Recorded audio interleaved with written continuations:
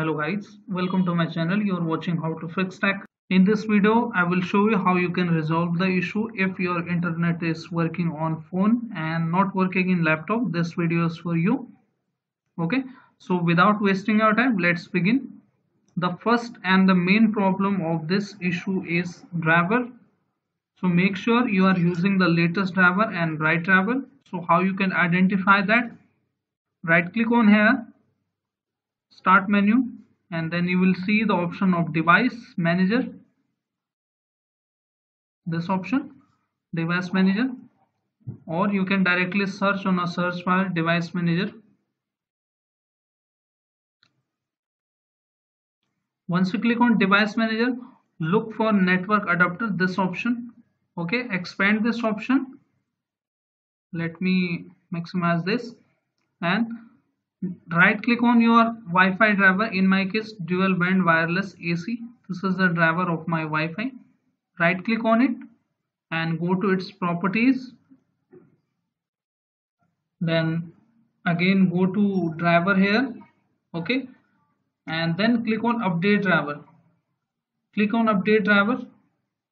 Since internet is not working on your window this option is not going to help okay click on browse my computer for driver. Then this one let me pick from a list of available drivers. And now choose here the latest driver. If you are seeing here multiple options you can choose the option when your system was working fine. That driver is suitable on your system. So click on next after that. And it is installing the driver. You need to wait now windows has successfully updated the driver. Click on close option. Okay. And refresh it.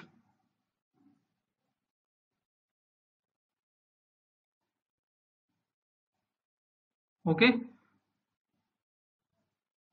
It should work.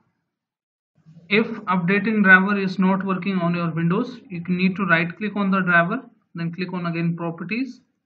Okay. Then click on again driver and you can roll back your driver. If you have updated your driver after that you are facing the issue of not connecting Wi-Fi then you can simply roll back the driver. Okay? Click on roll back the driver and click on ok button. Okay? And if the rollback driver is also not working on your windows you can uninstall the device. Click on uninstall. Okay once you click on uninstall you need to restart your system. Your windows will automatically install the driver for you. So you need to restart your system after uninstalling the driver. Okay? Make sure you are not choosing the delete one. If this option is not working on your windows we can move to the second method. In the second method we will release our old IP and get the new IP sometime old IP can cause this as well.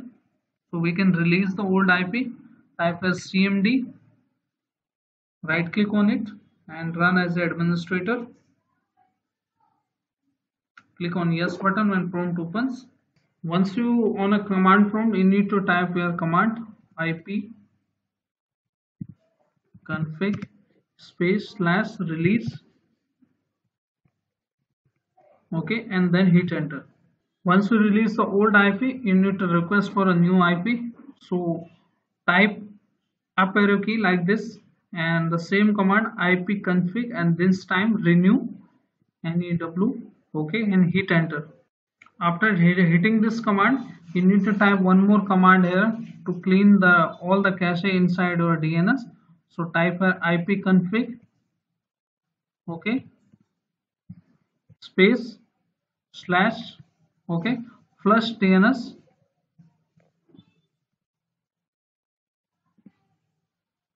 DNS hit enter. Now you can see successfully flush the DNS resolver cache and exit out from the command and restart your system. Here all the issue will be fixed with these two commands okay. If your issue is fixed then good and still not fixed then move to the third method. In third method we will reset our network. So how? We can reset our network go to here and then type a network.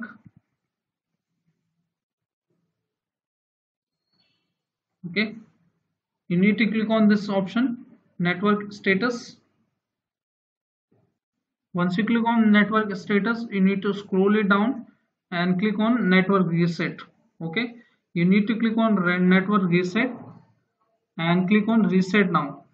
Once you click on reset now your all the by default setting will be enabled. But make sure you have to re-enter your password if you reset it. So make sure you have password then you can retry and reconfigure the network. So this is how you can resolve the issue.